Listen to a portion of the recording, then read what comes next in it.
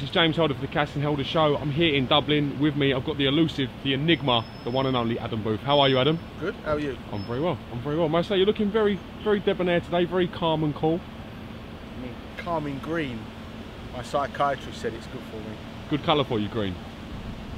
Pastel colours are calming, apparently. Indeed, indeed. Obviously, the favourite colour of, of your man, Andy Lee, as well. Fighting Irish Andy And Lee. today. Indeed, I've got to, got to get used to the environment, you know.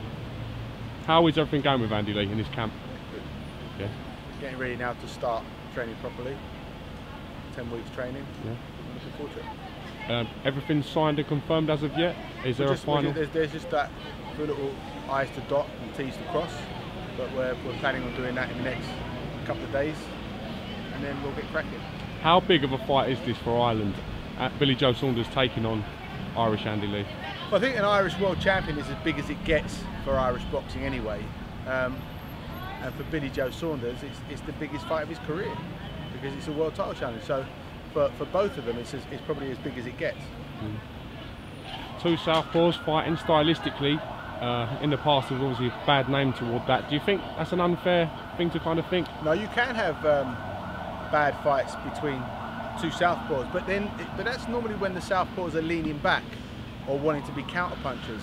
And um, but both Andy and Billy Joe can take the lead, and and I and I see this as being one of the competitive southpaw matchups rather than one of the lean back negative ones. So I think I think and because of that and because of because of Billy Joe's speed and boxing and because of Andy's boxing and power, I think it's, it's going to be an entertaining scrap for every second that it lasts.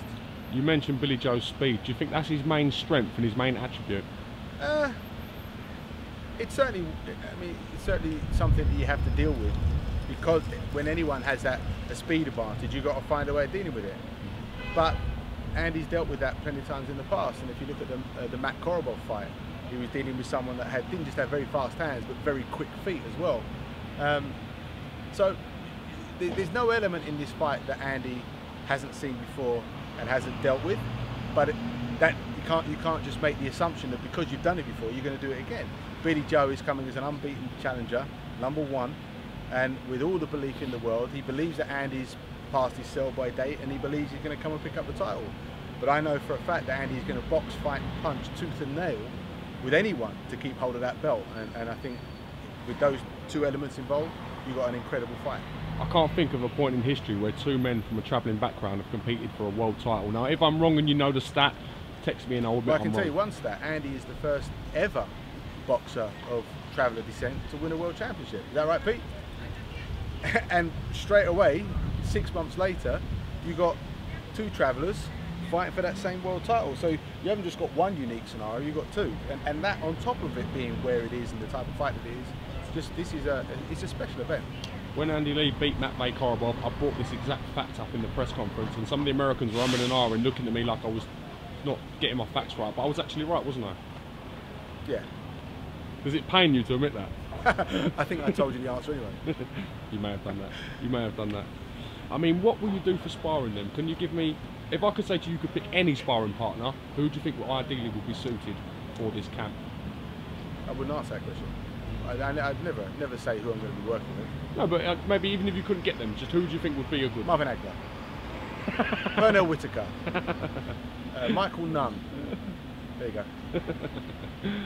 All right. Well, listen, we've got Ryan Burnett in action in Dublin. Um, fantastic fighter, Ryan Burnett. Probably four defeats in I think 96 amateur fights. How do you think he's now made that transition into the pro ranks? Um, well, he, he had he had four pro fights when he when he came to me last August, and since then he's had five. The, Ryan is freakishly quick, very very strong, and very clever for and cunning for for such a young fighter. Um, and it's just about encouraging little elements in him as a person and in, in a fighter to keep his progression going along. But I've got I, I've got so much so much conviction in, in what he can achieve that I'm really excited about the journey and, and, and it's not going to be long now before he's a 12 round championship fighter. Would you think we could see him maybe 12 to 18 months time headlining these cards in Dublin and kind of pushing to be at the top tier of the fight? Well, Ryan's from Belfast, So I'd like to see him maybe headlining in Belfast, and, and if that is going to happen, I would be extremely disappointed if that wasn't well within a year. Jamie Collins, obviously from Belfast, he's headlining in Dublin on this card, so At disappointing super that. flyweight, different weight division. Okay.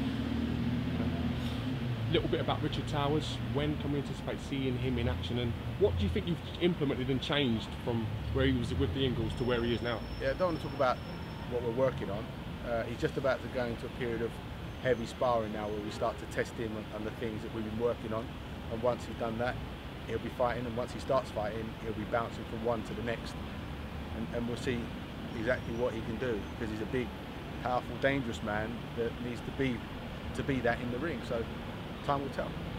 What levels and what aspirations do you think Richard Towers can reach, in your honest Um, opinion? any any any guy that big with those type of attributes who's 15 and 1 as a pro is only ever two or three good wins away from being right in the mix.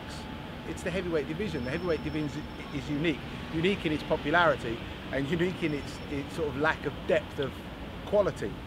Um, so there are a lot of openings. Although the, the division is very competitive now, you take Vladimir out of the equation, I don't see anyone being standout. You know, Deontay Wilder has been incredible at what he does, but there are vulnerabilities that people might think they can capitalise on. It's, and it's like that for every every uh, heavyweight now that's kind of sitting underneath the proficient level of Vladimir Klitschko. And Vladimir doesn't have that long left. You know, what is he 39 now, coming up to 40, whatever it is. And and so history says that his time is going to be up pretty soon. So it's going to be, the division division's going to be wide open for a lot of interesting fights. What chances do you give Tyson Fury of beating the line linear champion, which is Vladimir Klitschko? Heavyweight boxing, everyone has a chance. Um, you've got to make Vladimir the favourite because he's the proven entity at that level. Um, and he can punch. And, and if you look at the Kubrat Pulev fight last year, uh, Pulev, you know, he went down five times, but he was trying to give it to Vlad, and he hurt Vlad, I think, with a jab very early in the fight as well. And Vlad proved that he, even even after all these years and, and being sort of safety first, that when push comes to shove, he'll bite down on that gum shield and trade with someone and look for powerful shots because he knows that when your back's against the wall, that's the only way of getting out of it sometimes. And he proved with Pulev that he still has that in him. Um, and, and, and because of that, because you could, uh, you could still see that in him last year, you've got to make Vlad the favourite. But any man that's as big as Tyson Fury, who can box like Tyson, who's got that, you know, that, that, that crazy belief in himself, then you've got to give him a chance. When you select a fighter to work with, what what attributes do you look for in a person? Don't know. I, wish, I, I, I honestly don't know. It must be one core thing that, No, that makes you drawn to an individual. It's not. I either, I, either want to do it or I don't. That simple. It's bizarre. Can we anticipate seeing any new further announcements with regards to fighters joining the camp in the next six Not to eight now. months? Maybe Pete McDonald, but that's about it. But he signed with MGM, so no. Didn't you work with McDonough once before? Didn't many we? moons back. Huh?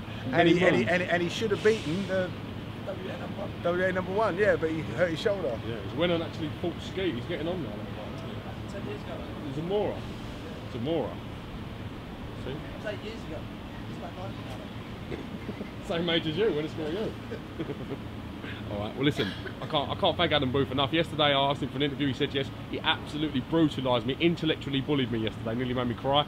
Today, I think I know he felt me. bad. Wasn't just me, was it? I know he felt bad. So today, he's met up with me, made the effort to come and do something. So I do appreciate that. Respect is restored. Thank you very much, Adam Booth. God bless.